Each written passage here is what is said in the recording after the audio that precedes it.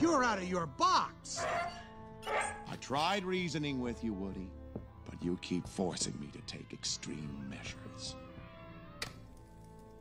Wait a minute. You turned on the TV last night, not Jesse. Look, we have an eternity to spend together in the museum. Let's not start off by pointing fingers, shall we?